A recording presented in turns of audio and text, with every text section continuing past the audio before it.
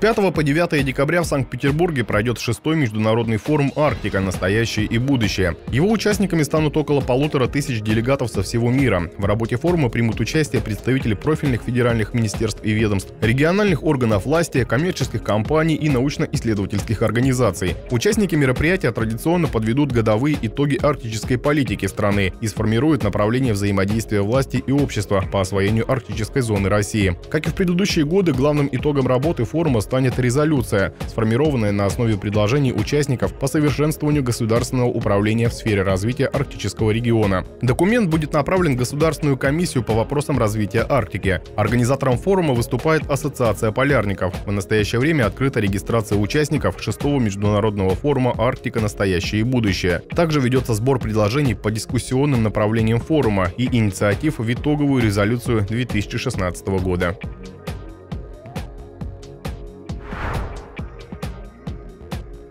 Снегопад на севере республики побил рекорд 30-летней давности. Об этом накануне на совещании в Доме правительства сообщил заместитель начальника якутского УГМС Юрий Дегтяренко. Он отметил, что в арктических улусах Якутии в течение осени выпала почти пятимесячная норма снега. Такого не наблюдалось уже около 30 лет. Кроме того, на прошлой неделе налетела сильная пурга. Метель в районах продолжалась в течение недели. Улучшение погоды мы прогнозируем только со второй половины этой недели, подчеркнул Дегтяренко. Режим ЧС из-за погоды погодных условий уже объявлен в Абыйском и Верхнеколымском улусах республики, где дома замело снегом почти по самую крышу. Занятия в школах и детских садах отменены. Кроме того, из-за обильных снегопадов также усложнилась ситуация по организации зимовки скота и лошадей. Запасы сена промокли и отсырили, передает служба новостей Якутии.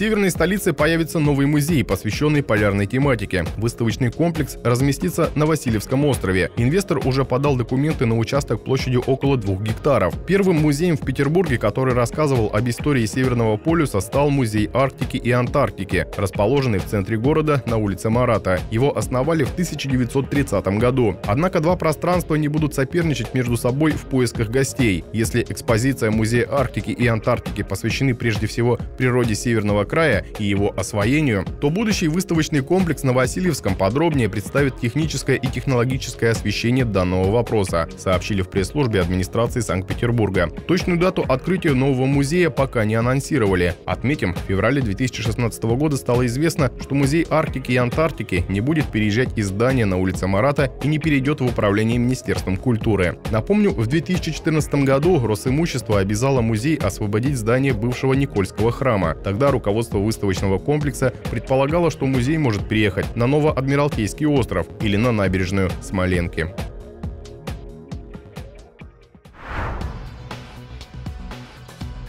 Поток российских туристов на архипелаг за два года вырос почти шестикратно. Об этом в понедельник сообщил глава Центра арктического туризма Груман при государственном тресте «Арктик Уголь» Тимофей Рогожин. Он рассказал, что зимой и летом в длительных турах продолжительностью от 6 до 8 дней Шпицберген посетили 600 российских туристов. В 2014 году этот показатель составил 100 человек. Тимофей Рогожин отметил, что турпоток на архипелаг растет за счет туристов не только из России, но и Европы и Скандинавии. В этом году в предварительной статистике в Шпицберген побывало около 30 тысяч европейцев, в прошлом году 26 тысяч. Всего арктический архипелаг посещает около 70 тысяч туристов в год, в основном норвежских. Многих привлекает возможность увидеть девственную северную природу, ледники, фьорды, а также арктических животных, в том числе и белых медведей. Напомню, сейчас архипелаг Шпицберген официально принадлежит Норвегии, однако и Россия, и Норвегия имеют равные права на хозяйственную деятельность здесь. Во время СССР на территории архипелага архипелага добывался уголь. Трест «Арктик Уголь», созданный в 1931 году, до сих пор является единственным предприятием, которое ведет экономическую деятельность в регионе. На Шпицбергене осталось два российских поселка, которые могут посещать туристы – Баренцбург и Пирамида, передает Интерфакс Туризм.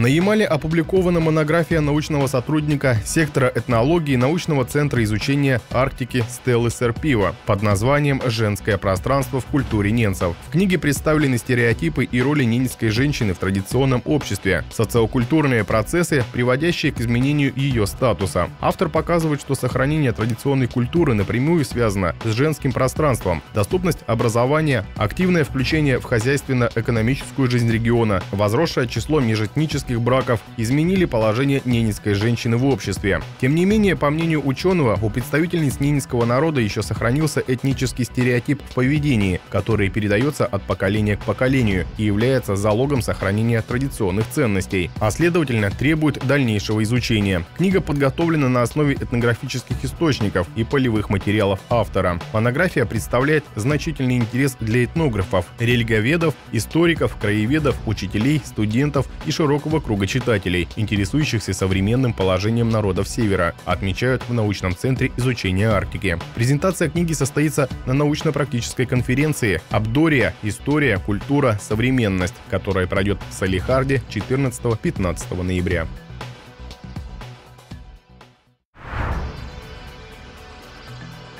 Сразу три проекта из Янау примут участие в финале общенациональной премии. В Тольятти подвели итоги регионального конкурса Всероссийской туристской премии «Маршрут года» Северо-Западного, Приволжского и Уральского федеральных округов. В региональном этапе приняли участие 195 проектов из 23 регионов. От Ямало-Ненецкого автономного округа на конкурс были заявлены три проекта из Центра развития туризма Пуровского района в номинации «Лучший велосипедный маршрут» «Велокольцо» по следам первопроходцев в номинации «Лучший спортивный маршрут. Лыжный переход», «Сияние Арктики» в номинации «Лучший событийный маршрут. День оленевода». По результатам конкурса все три маршрута заняли призовые места. Теперь ямальцам предстоит принять участие в общенациональном финале премии, который пройдет 18-19 ноября в Воронеже, передает пресс-служба губернатора Янао.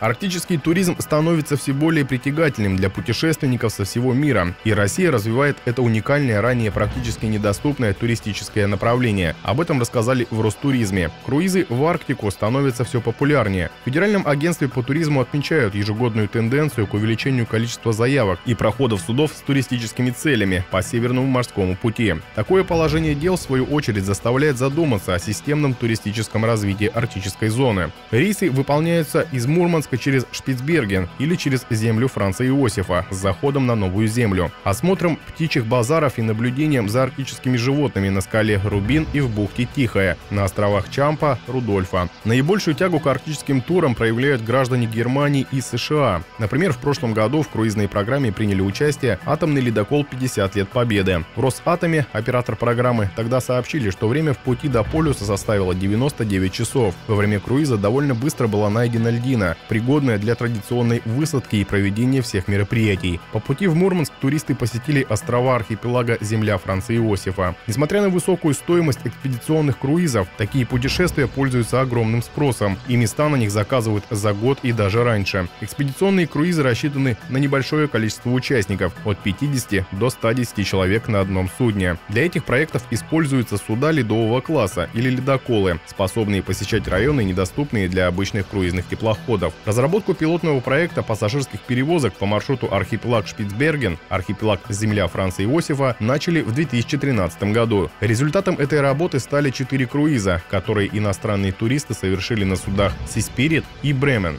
В прошлом году архипелаг Земля Франца Иосифа посетили рекордное число туристов – 1225 человек из 41 страны. Рост по сравнению с 2014 годом составил 78%.